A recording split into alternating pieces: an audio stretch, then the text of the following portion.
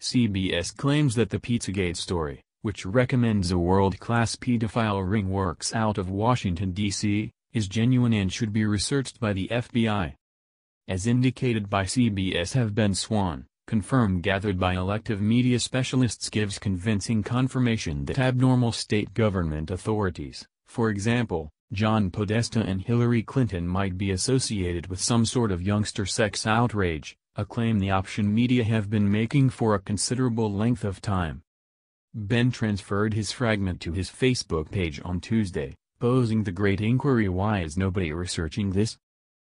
The response to this inquiry is that like such a significant number of embarrassments including the tip-top, an immense conceal is likely in progress in which the elites in government, media and law requirement are attempting to cover this story as profound as could be expected under the circumstances and keep it from general visibility.